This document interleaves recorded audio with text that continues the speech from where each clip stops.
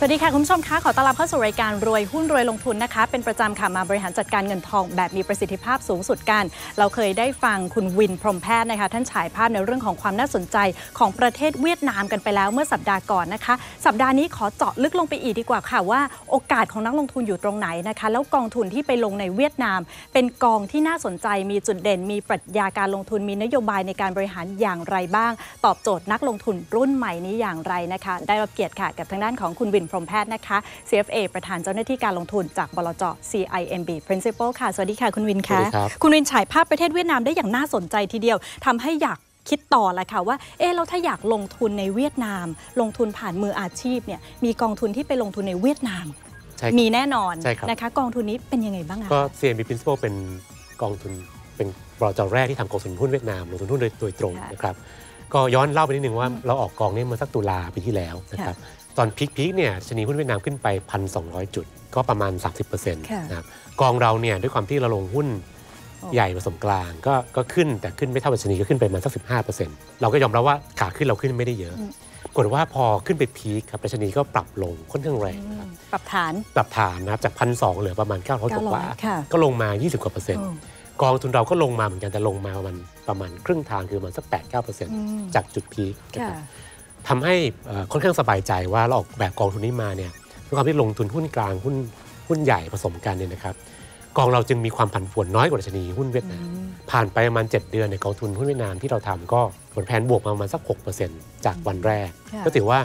เอ่อไม่ได้แย่มากในภาวะที่หุ้นผันผวนขนาดนี้นะครับค่ะหุ้นที่ปรับฐานเนี่ยผมมองว่าเป็นข้อดีนะ ถือว่าเป็นโอกาสเพราะว่าหุ้นที่เราชอบเนี่ยยังโตดีเหมือนเดิมอืม แต่เราได้ซื้อหุ้นราคาถูกลง แล้วกองทุนที่ไปลงในเวียดนามนี่ล่ะคะอะก็ต้องย้ำอีกครั้งว่าเราเราเป็นกองทุนเดียวที่ลงทุนหุ้นโดยตรงนะครับใช้ทีมงานซึ่งมีประสบการณ์อ่าในหุ้นเวียดนามมาแล้วด้วยนะครับ เดี๋ยวอาจจะมีภาพไปดูว่าทีมงานเรามีใครบ้าง ก็จะมีผมอืมที่เป็น CIO อยู่ที่ที่เมืองไทยนะครับ มีคุณวสินทร์ที่เป็นหัวหน้าทีมหุ้นดูแลหุ้นไทยและเวียดนามนะครับ เรามีเราเป็นกองทุนเดียวซึ่งมีคนเวียดนาม อ่าทำหน้าที่บริหารกองทุนด้วยชื่อคุณแอนนานะครับก็ประจำอยู่ที่กรุงเทพ แต่ต้องไปเวียดนามทุกไตรมาสเพื่อไปวิสิตบริษัทเลือกหุ้นนะครับอืมค่ะเรามีเพื่อนของเราที่อยู่ที่เอิ่มมาเลเซียนะครับดูแลหุ้นอาเซียน รวมเวียดนามด้วยคือคุณแพทริกซึ่งเป็น CIO ของมาเลเซีย มีคุณ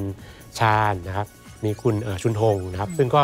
ทั้ง 3 ท่านเนี่ยดูหุ้นอาเซียน แล้วก็เคยทำหุ้นเวียดนามมาก่อนด้วยค่ะเราจึงมีทีมงานซึ่งครบถ้วนนะครับ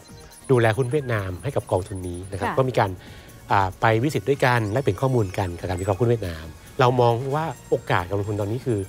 ในเมื่อเศรษฐกิจเวียดนามยังโตดีอยู่เนี่ยหุ้นขนาดกลางหลายตัวเนี่ยนะครับยังโตได้ดีนะครับกำไรอ่าอาจจะสัก 10 15 25 ถึง 25%ก็มีนะครับบางตัวนะครับ แต่ว่า PE เนี่ยแค่ 10 11 เท่านะครับ เราพบว่าพอร์ตเราตอนนี้ที่ลงทุนหุ้นเวียดนามเนี่ยครับพอร์ตเรามี PE อ่าแค่ 11 เท่า เทียบกับตลาดซึ่ง PE ประมาณสัก 16 17 เท่าเนี่ยเราเราหุ้นเราเนี่ย โตดีเหมือนตลาดเลยค่ะแต่ PE ต่ำกว่า ราคายังถูก ราคาถูกกว่า เพราะฉะนั้นคือที่ผมเรียนว่าการที่ตลาดปรับขึ้นไปแล้วลงปรับฐานลงมาเนี่ยนะครับ เราได้โอกาสการลงทุนในหุ้นที่โตดีเหมือนเดิมกำไรโตปีละเลขสองหลักนะ10 15 25เปอร์เซ็นต์เนี่ยนะครับ แต่ว่า PE แค่11เท่า เพราะฉะนั้นก็คือได้ได้หุ้นดีราคาถูกลงใช่นะครับ ก็เป็นโอกาสลงทุนที่น่าสนใจมากๆนะครับดูตัวอย่างหุ้นในในพอร์ตที่เราเลือกอย่างเช่นตัว Vinamilk ซึ่งเป็นผลิตภัณฑ์นมนะครับ ถามว่าทำไมนม น่าสนใจเพราะว่าคนเวียดนามเมื่อรายได้มากขึ้น ก็ต้องบริโภคมากขึ้น การดื่มนมก็เป็นหนึ่งในการบริโภคของเด็กที่ยังกำลังโตใช่ไหมครับแล้วก็ผมเคยเล่าให้ฟังว่าอ่าเอ่อคนเวียดนามบริโภคนมปีหนึ่งประมาณ15 ลิตรต่อคน ครึ่งของคนไทยเอง ถ้าเขาบริโภคเท่าคนไทยคือก็เพิ่มอีก 2 เท่านั้นก็ยังยังพอไปได้นะครับ อีกตัวหนึ่งคือเวียดเจ็ตแอร์ไลน์เป็น low cost airline ซึ่งเพิ่งก่อตั้งได้แค่ 6 ปีนะครับจะบอกว่านี่เป็นสายการบิน low cost ซึ่ง โตดีมากๆ เพราะว่ารับนักท่องเที่ยวจีนมาเที่ยวเวียดนามอ่ะนะครับแล้วก็ค่าใช้จ่ายเนี่ยไม่แพงนะครับคนเวียดนามเองก็ชอบบิน เพราะว่านั่งรถไฟจากฮานอยไปโฮจิมินห์เนี่ยใช้เวลาวันครึ่งบินแค่ 2 ชั่วโมงเองสองชั่วโมงค่าตั๋วเท่ากันก็บินดีกว่านะครับแล้วก็เป็นสายการบินที่ต้นทุนต่ำกว่าเอเชียนะครับใช้เครื่องบินแค่โมเดลเดียว ก็ทำให้ต้นทุนการบริการเนี่ยต่ำมากโอ้ก็เป็นตัวอย่างที่ดีมากค่ะๆนะครับค่ะหรืออยากอีกสักตัวหนึ่งคือเอ่อมาซานนี่เป็นบริษัทที่ทำน้ำปลาซอส แน่นอนว่าการบริโภคมาก็ก็ขายสิ่งที่จำเป็นในการในชีวิตประจำวันนะครับอืมก็ถ้าท่านสนใจก็ลองไปชิมดูได้ค่ะน้ำปลาจะกลิ่นไม่เหมือนน้ำปลาไทยค่ะนะครับแล้วก็เป็นเจ้าของแบงค์แบงค์หนึ่งด้วยนะครับค่ะ ก็เป็นตัวอย่างหุ้นซึ่งเราเราชอบนะครับแล้วก็อาจจะมีหุ้นเรื่องของอสังหาริมทรัพย์วัสดุก่อสร้างนะครับรับเหมาก่อสร้างก็เป็น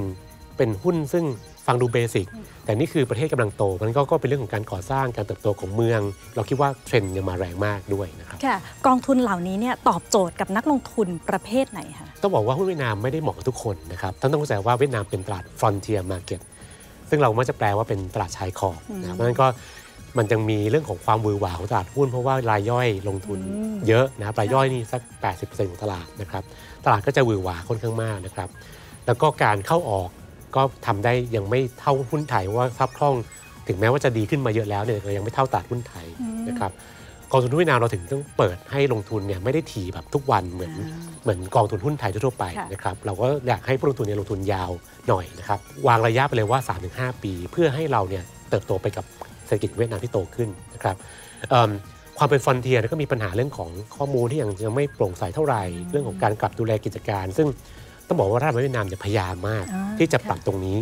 เพิ่มเรื่องของความโปร่งใสการกำกับดูแลนะครับเรื่องของทรัพย์คล่องตลาดจำนวนหุ้นในตลาดให้ลงทุนมากขึ้น การเปิดให้ต่างชาติเข้าถึงมากขึ้นอืมทั้งหมดเนี่ยทำเพื่ออะไรเพื่อรัฐบาลเวียดนามต้องการมีความตั้งใจว่าค่ะหุ้นเวียดนามเนี่ยจะปรับย้ายกลุ่มจากฟ r อนเทียเป็น emerging market ภายใน 3 ปีข้างหน้า เป็นแนวโน้มที่ดีว่าเขาจะย้ายเข้าเป็น emerging market แต่ถ้าถามว่าแล้วจะรอให้ย้ายก่อนลงทุนไหมอาจจะอาจจะสายเกินไปสายเกินไปค่ะงั้นก็ถ้าเราคิดว่าเวียดนามน่าจะย้ายกลุ่มนะครับแล้วก็เราเราเชื่อว่าเศรษฐกิจยังโตได้ดีนะราคาหุ้นตัวนี้ยังไม่แพงมากเนี่ยเราก็คงต้องต้องลงทุนเอ่อเร็วหน่อยคือเริ่มตั้งแต่ตอนนี้คือเข้าไปก่อนที่เขาจะย้ายอ่าครับ นั่นแหละค่ะคือกองทุนที่ลงทุนในหุ้นเวียดนามนะคะ วันนี้นำสาระดีๆเกี่ยวกับการลงทุนมาฝากกันท่านนักลงทุนที่สนใจข้อมูลเพิ่มเติมนะคะ ติดต่อที่ปรึกษาของการลงทุนของ CMB Principal ได้นะคะ 026869595 ค่ะ วันนี้ขอขอบพระคุณมากค่ะขอบคุณครับคุณผู้ชมคะนี่คือเรื่องราวการลงทุนที่น่าสนใจนะคะ คุณวินและปาล์มลาไปก่อนนะคะ เดี๋ยวช่วงหน้ายังคงมีเรื่องราวที่น่าสนใจรออยู่ค่ะ